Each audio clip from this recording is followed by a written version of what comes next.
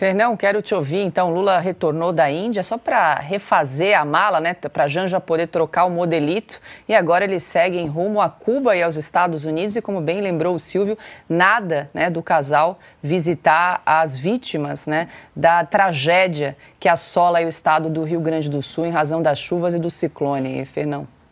Pois é, isso aí, é, é, sabe, eu olho para isso com, com muita preocupação, porque não é só essa questão do luxo, é, é é até secundária. Isso aí indica que na cabeça dele o Brasil está ganho. Né? E que agora tudo que ele precisa é só não perder é, é, é esse país que está ganho. Né? E não tá. Isso não é porque ele confia que as multidões que estavam ausentes do 7 de setembro vão sufragá-lo eternamente. É porque ele não está contando mais com isso. Né?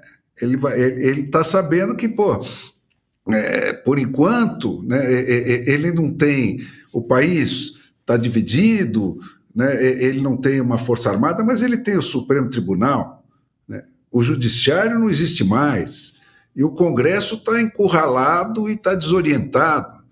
Né, e essas forças armadas desprezadas pelo país, né, junto com ele, é um perigo adicional. Né? O, o, o 7 de setembro foi inequívoco nisso, né? O Lula e elas são hoje execradas pelo povo. E isso tende a levar eles a se unir. Né? Então, é, o, tudo isso sinaliza aquilo que ele está afirmando diretamente quando ele vai lá sentar no colo do Xi Jinping, do Putin, que hoje está recebendo aquele maluco lá da Coreia do Norte, né?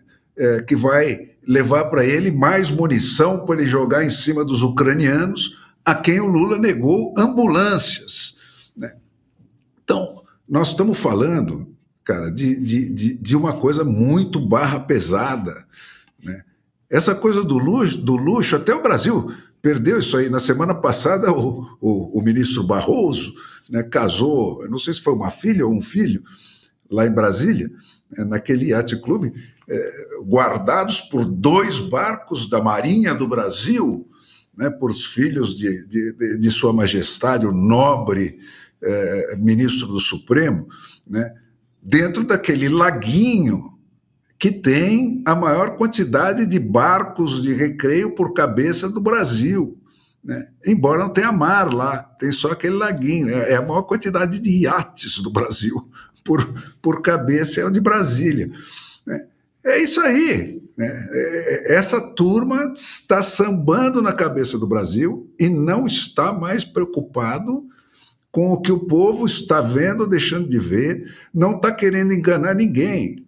É sexo explícito e isso é a maior ameaça que pesa contra o Brasil é, é essa atitude, que indica que eles têm certeza de que não tem competidor e se aparecer algum, eles mandam prender.